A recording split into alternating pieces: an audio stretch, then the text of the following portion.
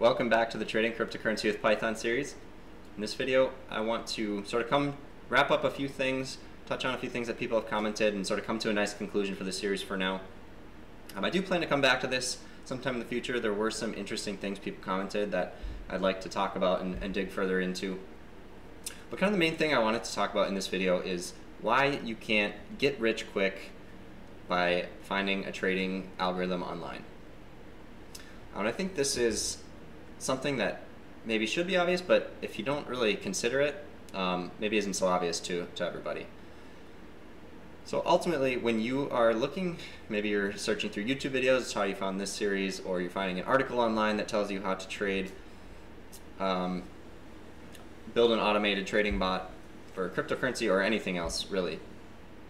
Um, and you're looking for a way, you're looking for code that somebody's posted online that you can run that will make you money right? Everybody is, you know, finding these videos because ultimately they want to trade cryptocurrency and make money.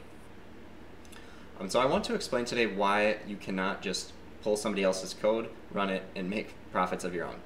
Um, and the main reason for this is because there's this uniqueness property of a trading algorithm that you need to be the only one or one of the only ones running it in order for it to work.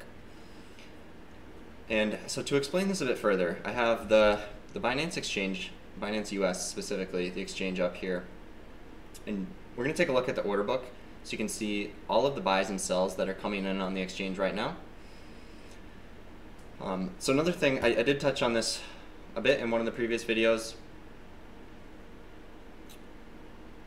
A thing you need to remember when you're trading on an exchange is these are you know real people offering their their sell orders or their buy orders up for you to fulfill. Um, this is not that it's not the case that you can always buy and sell at the price listed. This price here that you're seeing that's fluctuating over time is calculated from the buys and sells of what people are offering on the exchange. And this is just constantly iterating over time. So for example, um, let's actually take a look at a smaller cryptocurrency to um, really illustrate this point. So let's say I'm going to take a, a quick screenshot of this so we can get one step in time so it's not constantly changing here.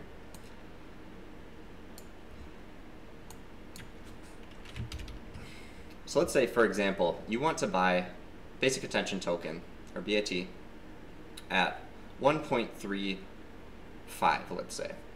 So these are all of the sell orders on the exchange right now that are available for you to purchase BAT at that price, right? If it's lower, then obviously you can buy it at that price. They'll sell it to you for that price if they're offering lower. Um, but you can't, you can't, just because the price is below that, doesn't mean you can actually buy it there. Okay? And so this is the amount of BAT offered by these five people at this point in time on the exchange. So you can see there's about, uh, I'd say, $15,000 offered, maybe a little bit less, of offered on the exchange at this point in time. Um, and so the reason that you need a unique algorithm of your own is because if I were to, for example, post a video to my viewers, showing an algorithm that works. You know, you can you can run this algorithm and it works all the time. Everybody will make money. Um, I get about you know on the order of hundreds of viewers here, but you can imagine how this would even amplify with a larger channel. Uh, but anyway, let's say 10 of you watching this video decide to run an algorithm that that I created or posted on, on the video. And it said the algorithm gave you a buy signal at 1.135 let's say each of you were trading $5,000, um, which actually is really not that much in, in terms of these high frequency trading algorithms, um, just because you know you're looking at gains or losses of like fractions of a percent for each trade. So, you know, one percent on five thousand dollars is only fifty bucks. You're looking at maybe ten dollars um, for five, ten dollars up or down on a trade of five thousand dollars realistically. So 10 of you, you're each trading $5,000 on the exchange, and you all are trying to fill at 1.135. Well, there's only $15,000 offered, right? So all 10 of you are not going to get your buy. If you have limit buys, your orders aren't going to fill. If you have market buys, you're going to get a price that you weren't expecting. You're going to get a worse price um, because you know these are going to be gone. The price is going to go up, and you're going to get one of these higher, one of these higher offers out there. Um, so this is really the, the concept that you need to understand to, to know why you cannot just pull somebody else's code and all trade at the same time, the same algorithm, and all make money. Um, you know, if I could post a strategy where thousands of people could all run it at the same time and everybody makes money, that'd be great. You know, I would, everybody would do that. Um, but you know, it's it's a bit too good to be true in a sense. Um, and, and so that's why I've really tried to focus this series on explaining how you can create trading algorithms of your own. You know, with the backtesting platform and um, kind of going through the details of the API, um, how to gather data you need. Um, I think the, the API really gives you all the tools and you know hopefully knowing how to use them you, you can really do some research on your own look into all kinds of different indicators maybe machine learning in there like we looked at in part four and and you know through that research of your own you have your algorithm that you've back tested that works and you're the only one trading on it so it's it's a little bit like sharing a pie in a way if you're sharing a pie with thousands of people you're going to get a very small slice of that pie so um, yeah you, you really need this property of uniqueness with any trading algorithm um, it's why we focused on only Bollinger Bands. It's a simple algorithm, um, but I think it gave you the tools necessary to actually you know learn how to use the API and develop that that strategy of your own. So I wanted to touch on that. Um, you know, I, it's not that I, I don't want to post a better trading strategy. It's just simply that you know people will be disappointed if they actually run it, um, just because they'll be running it alongside potentially hundreds of other people. Um, so that's kind of the first thing I want to touch on here. A couple of other things. I did see one comment regarding um, the way we were getting precision in our live trading uh, bot here. So I'm going to go back to this code that we wrote um, in the last part of the series here. This was when we were implementing the Bollinger Band strategy live on the API. Um, and if you remember, if you haven't seen that video, by the way, this um, maybe go back and watch that one. Or just wanted to clear this up if you did have this issue anyway. Um, but if you remember, we were getting precision for each of our buys here with this code. Basically asking the API, how many decimal places can we supply that will, you know, um, if I want to buy X amount of Bitcoin, how many decimal places can I give to the API to tell it how much I want? Right? You can't give it a string of 15 digits. Um, it just won't allow that. It needs um, between like, depending on the cryptocurrency, like three to 10 decimal places. Um, and basically what I wanted to cover here was a workaround to this. I think this code doesn't work in all cases for whatever reason. Uh, maybe it was a misunderstanding of mine of how the exchange works or, or per perhaps a bug in the exchange even. But anyway, this basically we were asking to get info about the specific symbol that we want to buy.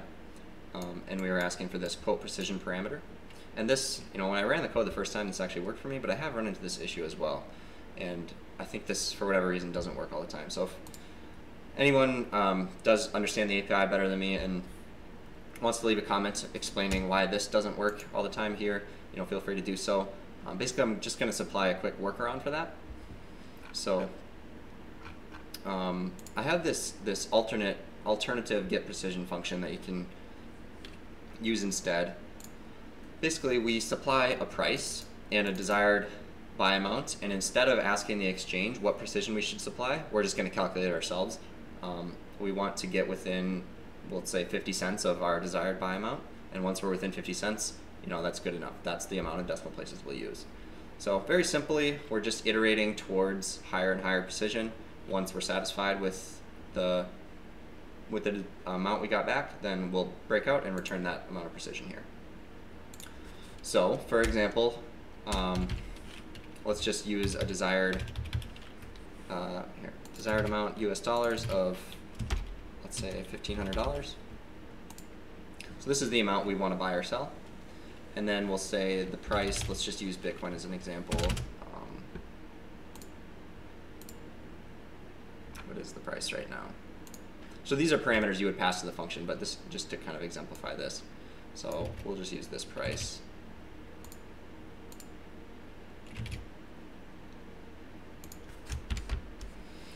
So let's say we want to buy $1,500 worth of Bitcoin at 49,261 and 56 cents. Basically what we're going to do is we're going to calculate at each level of precision and check whether that amount or that calculated amount is within 50 cents of our desired amount. So to show, or to exemplify this here, let's just print first our, um, it's a calculated amount, which is, so what we're doing is we're converting our desired amount to US dollars by dividing by the price, and then we're rounding it with that precision here. So we're iterating towards higher precision. Um, yeah, so this should be inside the for loop.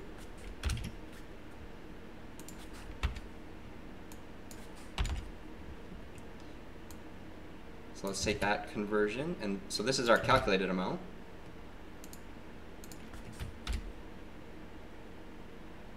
Um, actually, we got to multi we got to multiply back by the price to convert it to. So we're we're converting it to U.S. dollars, rounding it, and then multiplying it by the price again to convert it back to the actual amount of cryptocurrency we're buying or selling. Um, and then the difference will also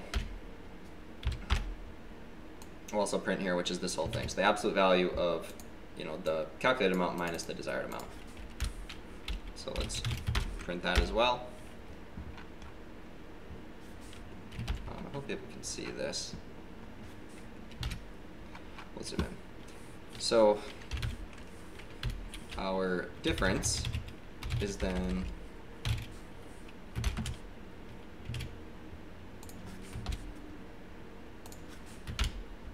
this calculation here. And we are checking if this difference is less than 50 cents, right? And if so, then we're going to return the precision at that point. So let's run this function here. I'm to have to import NumPy.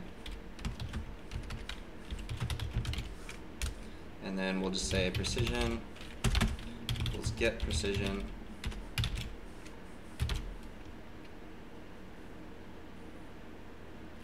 for our desired amount, well, actually our price first, and our desired amount. Um, let's print just a new line here to clean this up. Um, and so you can see, and then let's also print our our precision here. So I, that's our precision. So you can see here, at a precision of one or one decimal place. Our calculated amount is zero, I imagine, because our our you know the amount we actually would want to buy or our desired amount is is like 0.02 something like that or you know starts with a point zero so if you round it to only one decimal place you're just going to get zero obviously this is not enough decimals to fulfill the order so then we move on to two decimal places calculated amount is then 1477 the difference is $22, getting closer, but still not enough. Same with um, at three decimal places. We get to four, we're getting even closer, where the difference is $2. So you can see we're, we're at $14.97. This is really close, would be satisfactory in most cases. Let's just get one more decimal place here, and you can see we're at 1500.01. So at this point, I think we're, we're okay with being within one cent of our desired amount um, in terms of US dollars. Um, so then we can we can use this precision to fill the order. So our precision in this case is five. And so this would basically just slot in for for this precision function here. Um, so you'd basically create your list of precisions with, or maybe just ask for it live, or calculate it live as you make the order. Um, and instead of passing this precision here, we can you know pass the output of that function. So that's just kind of a, a simple workaround that you can implement if you were having troubles with that. In you know in the last video, that is something somebody commented on and um, you know pointed out to me that was not working properly. um, and we're kind of you know jumping around in a lot of different areas here, but one last thing I wanted to cover um, to wrap up this series is just sort of a profit a way to visualize your profits and losses. Maybe you know from the last video was a while ago now. You've been you've developed a trading bot and you've been running it over the past month or so and you want to be able to visualize, you know, how has it been doing. Obviously, you can see the balance changing in your account, but maybe you want a way to kind of better break down the buys and sells um, and, and your profits and losses over time. So I have written up a function here. I'm not going to go through the specifics of how it works just because I think, you know, there's no point in explaining plotting functions. Not super interesting, but Um, we can kind of talk through it, and then I'll post this code on GitHub if you'd like to recycle it for your own use. Um, but basically what we're doing here is we're going to use Plotly, and we are going to specify our list of symbols that, that we've been trading on, or you know you can make this list as long as you want. Um, just to, this is just so we know what we're going to grab um, from the API. We are then going to use this get all orders function. So this is actually your personal orders, nothing to do with you know what's live on the exchange. This is for you personally. What orders have you made over the past time? Um, actually, all orders, and then we're going to filter that down to a specific time period. So we do that here, and I specified here just the last 45 days. Um, and I did actually have an algorithm running, so we can look at the results of that as well. Um, but yeah, I'm not going to explain all the code here, but just very simply, we're basically just grabbing that data from the exchange and, and, transforming it in a way that we can actually plot this. Um, you can you know look further into this code on GitHub if, if you're interested. But we're just appending to this list of trades. we ha we have the date time of the trade, the symbol that we bought or sold, and then the sell price divided by the buy price. That is your profit or loss percentage. Um, so if, if you made a little bit of money, that will be like 1.01. That'd be a 1% profit, or you know 0.99 if it was a 1% loss your total profit in terms of US dollars here, so subtracting how much you sold minus how much you bought. If um, you know if you bought thousand and ten dollars and or if you sold thousand and ten dollars and you bought thousand dollars, you know you made ten dollars on that trade. So we're going to track that as well. Um, and then basically we are just you know aggregating that information into a into a format that um, Plotly can accept to plot here, and I'll kind of show you the results of, of how that looks. So this first plot, what we have is just a bar plot of the different symbols. I, this is you know my personal trades, but this would be the symbols you bought and sold over the past 45 days in this case. Um, and you see ultimately this yielded a profit of $99. And then kind of uh, another way to visualize this would be in terms of a, a line plot here. So this is just tracking your profit loss over time. So you can see we started out with a couple profitable trades, kind of dipped down into the negative for a bit here, and then ultimately came back up over the course of November um, to results in that $99 profit. Um, yeah, I think, as I said, I will, I would like to revisit this. There was one suggestion in the comments talking about using um, tweets or other social media data to predict the movement of a cryptocurrency. Not sure if that would work, but I'd definitely love to explore that. I think I'll probably make a video about that in the future. Uh, basically about the sentiment or the volume of tweets about a certain cryptocurrency. For example, if people are tweeting positive things about Bitcoin one day, you might expect it to go up the next, you know, on the next day. Um, so definitely might look into that in the future. Um, but I think for now, I'm going to move on to more machine learning kind of stuff uh, on the channel here. So I've been working on a series that will start coming out. Um, yeah, really focusing more on machine learning aspect of things. So if you have any other ideas you'd like me to explore relating to cryptocurrency trading, any algorithm in mind, I'd love to hear your ideas. I think it's always cool to look into some alternative things that I haven't thought of yet and just kind of play around with backtesting and maybe do some analytics on different types of strategies. I thought that you know social media sentiment one was a pretty interesting idea, and I feel like there's there's probably a lot more ideas out there that maybe you know if you you're exploring yourself or you'd like to see me kind of dig into. I'd love to try out some of those things. Um, but thanks for watching, and see you guys in the next video.